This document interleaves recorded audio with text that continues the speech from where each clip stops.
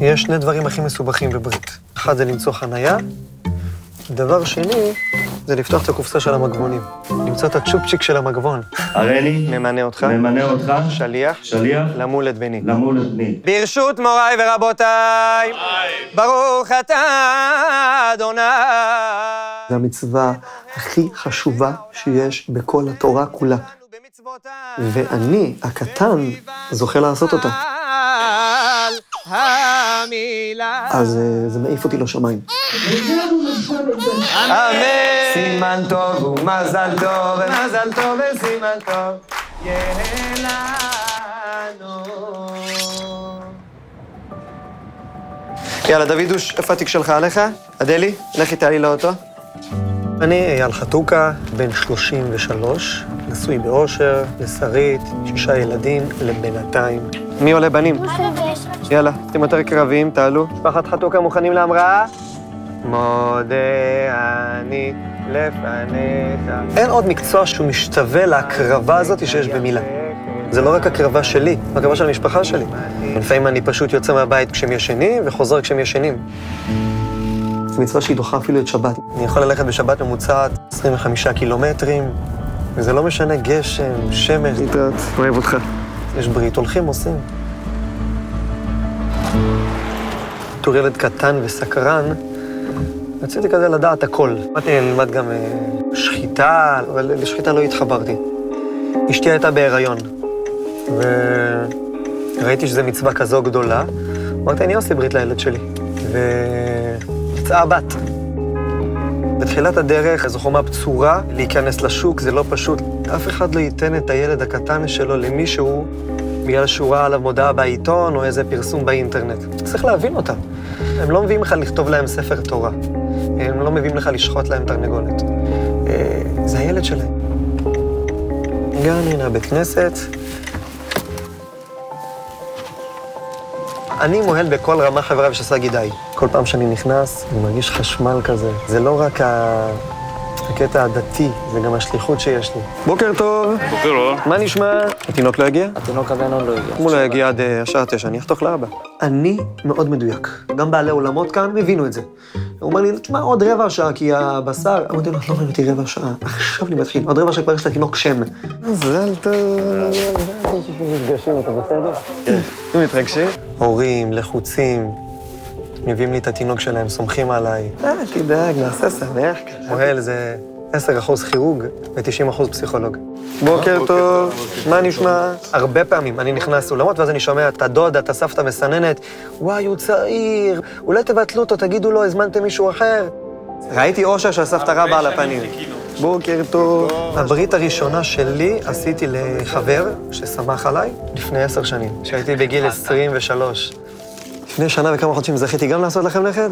איזה זכות יש לי. אתה היית אצלנו. היה לי ברית לפני חודש, והסבא, הוא ניסה למצוא את המילים להגיד לי כמה אני טוב. אז הוא אומר לי, "אה, אה, "אתה- אתה מסי של המוהלים.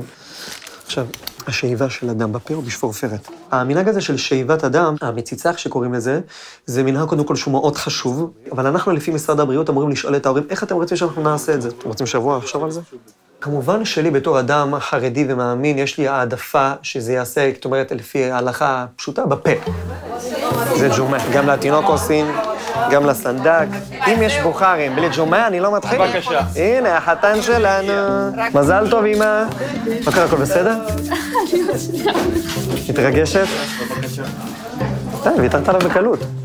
זה מעמד לא כל כך אה, נעים להורים, במיוחד לאימא. רגע, רגע, רגע, התינוק לא חייך. אם אני עושה את הברית ואני רואה את האימא מחייכת, בשבילי זה מאה. זה בעצם החדר העבודה שלי, כאן בעצם אני מכין את הסטים, את כל מה שאני צריך לבריתות שיש לי במהלך היום. הכלי הכי חשוב כאן זה בעצם האוטוקלאב. הוא משמיד את כל החיידקים שנמצאים על הכלים, על התחבושות, ככה שלכל ברית אני בא עם סט סטרילי חד פעמי, ברמה של חדר ניתוח.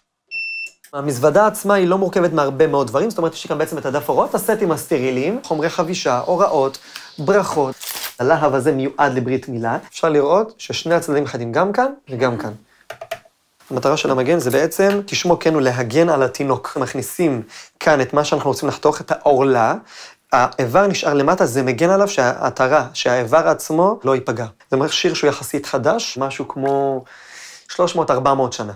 יש איבר שיותר קטן, יותר דק, יותר עבה, אני בא ומתאים לו בדיוק את מה שהוא צריך, כמו שהוא מודד נעליים, אני מודד לו גם את זה. המורה שלי לימד אותי אה, איך לחתוך. את כל הנושא הרפואי אה, השקעתי לבד. אז אני מכין מוצץ עבודת יד, שם לו במוצץ הזה גלוקוז, זה משחרר אנדרופינים במוח, אה, נותן לו הרגשה קצת של היי. יש כאלה שפשוט מלעיטים אותו ביין. אה, אני לא חושב שיין עם אלכוהול בריא לתינוק בן שמונה ימים. אחרי הברית באה הדודה ואומרת, איזה יופי, הוא רגוע, כמה יין נתתי לו. אני עובד כל כך קשה, ובסוף את כל המחמאות מקבל היין. הטקס שלי מתאים לסגנון של המשפחה. יש אנשים שרוצים אה, שואו, רוצים שמח, רוצים חפלה, שירים. יש אנשים שמעדיפים משהו יותר אינטימי, כל עדה יש לה את המנהגים שלה, את השירים שלה. בקטע הזה אני מר גמיש. מזל טוב. בית כנסת? אתם רוצים לחתוך חצי כאן, חצי שם? אנשים לא יודעים, הם רואים אותי בא לברית, 20 דקות, חצי שעה יוצא והולך, הם לא יודעים שזה... שבעצם הכנתי את כל הדברים, כל הסטים הסטריליים, זה זמן לבוא לבדוק את התינוק לפני, לבדוק אותו אחרי. לך, מזל טוב, יום זה רואים. לפעמים אמהות אומרות לי, איזה כיף לאשתך, איך אתה מלביש מהר את התינוק. אני אומר לה, זו הבעיה שאני מלביש את התינוקות של כולם, חוץ מהתינוקות שלי. יביא לכבוד חמדת לבבי. חברים יקרים, בלי כפיים אני לא מתחיל. אליהו שהחיינו, הקיימנו, הגיענו הזמן הזה. לא שמעתי אמן. יש סגולה, אישה שקשה לה להיכנס להיריון, להסתכל על הדם של הסכין. המנהג של העורלה זה בעצם לקבור את זה באדמה. יש לי בחצר מאחורי הבית שלי בית קברות של עורלות. יש לכם תינוק גיבור. חתכתי לו צחק, אני לא יודע אם ראיתם. אין באמת מחיר לברית מילה. יש את המחירון של משרד הבריאות, בין 1,000 ל-1,500 שקל לברית. מזל טוב. עכשיו יבוא אליי מישהו ויגיד לי, תשמע, אין לי כסף. אתה יכול לעשות לי ברית עם כל ההוצאות שאני מוציא וכל הטרחה שאני עושה? אני אגיד לו, בטח, בוודאי. אין לך כסף, אני אעשה לך בחינם. כמה בריתות אתה חושב שעשית? ספרתי עד שלוש אלף ואז התעייפתי. מה קורה, שרית? אני אשתדל להגיע כמה שיותר מהר, אבל תנסי להחזיק אותם, את יודעת, שיהיו ערים. אני צריך להיות מיליון דולר כל ברית. אני אכנס לברית האחרונה בסוף היום, כמו אריה, כשהבטריה שלי אולי על 20, ואני אתן להם וארגיע אותם ואעשה להם שמח ושואו, כאילו זו הברית הראשונה שלי היום. כאן זה זיווה וטל, שלח אותך לתינוק אחר בטעות. אני לא אוהב לחתוך וללכת, אני לא אוהב לעשות את זה רובוט. אני עושה את זה קצת מעבר, זה שליחות. מה נשמע? תוך שלוש שנים, חמישה נכדים. אולי נעשה איזה תמונת מחזור. כן, שלום לך, מה יש שלומך קטן שלנו? אני מרשה לך לסמם אותו כמה שאתה רוצה. ברוכים הבאים, מזל טוב. כולם מוזמנים לרחבה. אני אדם מאוד ביישן. אבי לך. אבל כשאני תופס מיקרופון, אז אני עם משהו אחר. חזק, לא שומע. אליהו הנביא. סבא איציק, אצלנו נוהגים מי ששם את התינוק על הכיסא, גם קונה לו דירה. שמו יצא בכל עבר, שמו יצא בכל עבר, אשר יגדל יהי גבר, וליראה יהי חבר, יהי בדורו כי שמו אל עמם. ויקרא שמו בישראל, בסימן טוב ובן Hey.